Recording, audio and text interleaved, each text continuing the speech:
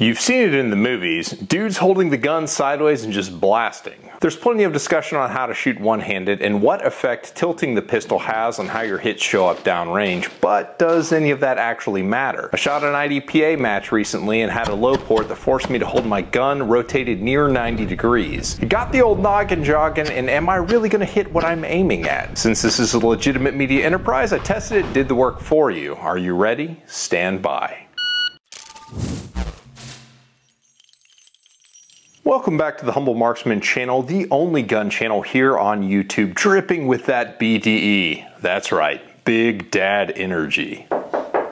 Bruce, I'm filming. What is it? If Split in half, would there be? Okay, I'll see you later. Okay. So we're going to take a look at canting the gun, and that means turning it, and seeing what effect that has on the hits. There's still plenty of discussion to be had on how the gun recovers from recoil in these various positions we can hold on it, but we're not solving that today. We're just going to talk about when you hold the sights kind of weird, how does that affect your hits down range? There's two terms I'll be using in this video. If you're not familiar with them, there's point of aim or POA and point of impact POI. So point of impact is where the bullet shows up on target and POA is where you're holding the sights on the target and the POA POI should be roughly the same. So if I'm holding center mass, the hit should show up center mass. If they show up high or low, we'll know that something's off on the sights. So in order to test this, I was at the range, I had three targets and I had three guns of different sighting systems, curious if the sighting system affects how the hits show up. So I had three guns from Bul Armory, oddly enough. The, the first is my competition gun, the Ultimate Racer. Picked this because the height over bore for the sight is very, very high, about as bad as it can get, so it's going to exaggerate whatever effect there is to report on. Second is the Bul Armory SAS2 TAC 425. Not reviewed on the channel yet, so you'll have to subscribe and check back later for that one, but it's a pretty awesome gun. And finally, for iron sights, I had the Bul Axe Tomahawk. And that's basically kind of a duty style striker fired gun with very basic sights. So the process for testing, it was pretty simple. I had three targets set up and I used the bay that was available at the gun club that day and it was only good up to 20 yards. So I set fault lines at 5, 10, and 20 yards to see if the effect grew as you moved further and further down range. Since pistol ranges generally are thought of to top out at 25 yards, 20 seemed like a pretty good point to stop at. So I started with the Ultimate Racer, and I started shooting strong hand only with the gun canted at a 45 degree angle. Now, the problem with shooting at a 45 degree angle is that you don't have the support hand to make the of trigger pull go away, so forgive my accuracy for not being quite dead nuts. The effect was still good enough and we were able to get usable data. So at five yards, as you can imagine, the height over bore of the optic and the mechanical offset played a bigger issue in where the hits showed up. So the hits showed up about an inch lower than where I was aiming, which is typical for my open gun. Backing up to 10 yards, there was basically no difference from my point of aim to the point of impact. It was very true at 10 yards, and backing up to 20, it was still the same, although the hits are a bit scattered because shooting with one hand, there's not as much stability. No real takeaways on the open gun with the frame mounted optic other than always account for your mechanical offset. Switching over to canting the gun 90 degrees, I got both hands on the gun again, and the result basically was the same. There was the height over bore issue to contend with at five yards, but it was hitting true point of aim to point of impact at every distance I shot it at. Switching over to the TAC 425, there's really not a lot to talk about on that one. The hits basically showed up since the height over bore issue is not quite as bad. The hits were a lot truer at 5 yards, and then at 10 and 20 yards, there was really no difference. Point of aim was there, got that. That's for mechanical offset.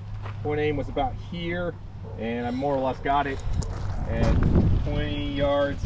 It's basically, that one was a hold, that was bad hold, but the other two shots were held right there and the other one kind of came down. So exactly what I was going for. Putting the gun at 90 degrees basically just showed me that brass can land on my head when I shoot the gun tilted with the gun at 90 degrees. That was exciting. Other than that, there's no news to report. It was true point of aim, point of impact. Pretty boring. But Iron Sights is a little bit different. My sighting solution is not as good.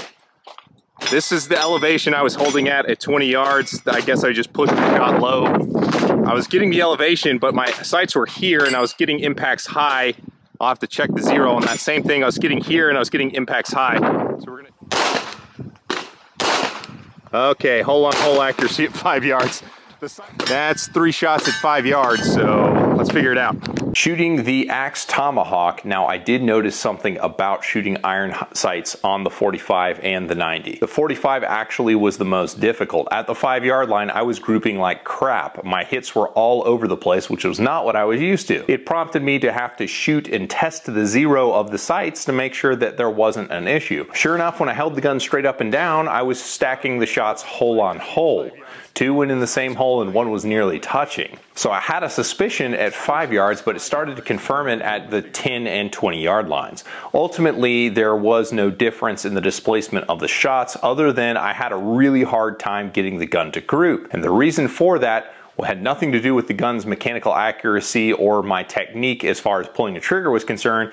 It had everything to do with how I was able to line up the sights. The iron sights are rectilinear, meaning a square notch with like three little rectangles standing up. So going for the equal height, equal light, it's much easier when they're on perpendicular to the earth, very straight up and down. When you put them on a 45, it becomes immediately harder to aim with them. So my sight alignment actually was a little bit wonky when I was holding the gun like this. It was just more difficult to read good sights on it. I confirmed that when I shot on the 90 with both hands on the gun. There was basically no difference in where the shots showed up from where the sights were, but it was easier with the gun on the 90 than it was on the 45. 20 Yards, getting a sight picture is more difficult. Uh, I ended up, I guess, misaligning the sights slightly high, so that's why they are, but that is the elevation I was holding, so they were centered. I just didn't have my notch. That was a bad trigger pull.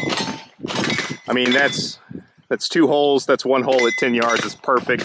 At five yards, that's perfect. So I'm not saying don't shoot the gun on a 45 single-handed. I'm just saying that I personally have a harder time lining up the sight. So if I'm shooting one hand on the gun, I'm going to tilt the gun straight up and down. So knowing what the effect of holding the gun sideways is, and there really isn't an effect, what can you do with that information? Now, I'll leave it to you, Mall Ninjas, to figure out what tactical application it is as you tell me that all the shooting competitions I do will get me killed in the streets. If only I watched all the right YouTube channels like you guys. As far as practical shooting, the sport of shooting pistols is concerned, hard leans, I don't see a point in trying to lean way out and get way, way out. If you can just kind of lean out like this, that's gonna be an easier way to get the gun out there and make the hits that you need to hit. Especially if you've got red dot sights, there's absolutely no problem turning the gun on a 90 degree cant, or if you're going down to a low port to get the gun to clear the bottom of the port if you're a tall guy shooting at a low port like myself. And also check out this video I did on recoil management. A lot of people have gotten a lot of help from it. I appreciate you guys and I'll catch you on the next one.